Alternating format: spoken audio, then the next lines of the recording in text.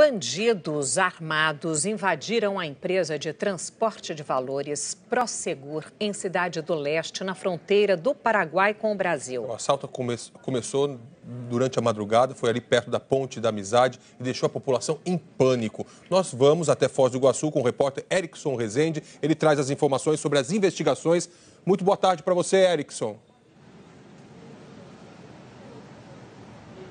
Boa tarde, Sandra. Boa tarde, Evaristo. A polícia ainda não tem pistas dos assaltantes, mas acredita que muitos deles sejam brasileiros, porque durante todo o assalto eles conversavam o tempo todo em português. O assalto foi à Prosegur, uma empresa multinacional com filiadas em vários países. Este já é considerado um dos maiores assaltos da fronteira pela polícia paraguaia a Polícia Federal Brasileira reforçou a segurança aqui na fronteira. Uma pessoa morreu e outra ficou gravemente ferida durante a ação dos bandidos. A gente cruzou a ponte da amizade, foi até a cidade do leste e agora mostra como tudo aconteceu.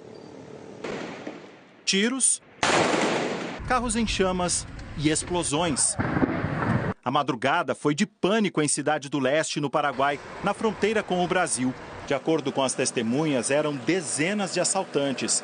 Eles estavam armados com fuzis, metralhadoras e granadas. A quadrilha explodiu a entrada da empresa de transporte de valores, invadiu o local e levou o dinheiro. O grupo fugiu em vários carros e espalhou pequenos pedaços de ferro para furar pneus. A ação dos bandidos durou cerca de três horas. Um policial que estava em serviço neste carro em frente à empresa foi assassinado pelos bandidos.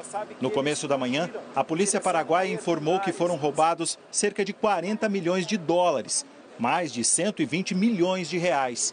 Depois, disse que não é possível dizer o valor exato. É impossível todavía dar uma cifra exata.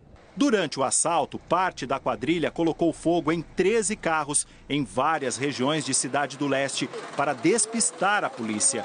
O carro deste rapaz foi usado para impedir a passagem nesta rua, perto da transportadora. Eles só falaram, desce do carro e vaza daqui, só isso.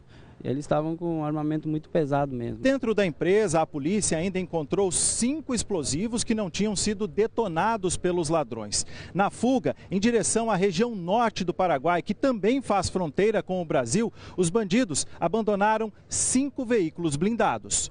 Depois de comprovar que alguns carros usados pela quadrilha tinham placas do Brasil e de ouvir algumas testemunhas, a polícia suspeita que a quadrilha seja brasileira. E como habla em, em português errado. Como falavam em português e não em portunhol, então pode se tratar de um grupo brasileiro diz o chefe do Departamento de Investigação. As explosões danificaram esta casa, vizinha à transportadora. O casal de idosos que mora aqui se escondeu debaixo da cama. Todas as detonações das poderosas Todas as detonações das poderosas armas que tinham atingiram a minha casa. E você viu como ficou. Eu e minha esposa estávamos sozinhos, disse Alejandro. Estávamos solos. A empresa Prosegur ainda não se pronunciou sobre o assalto no Paraguai.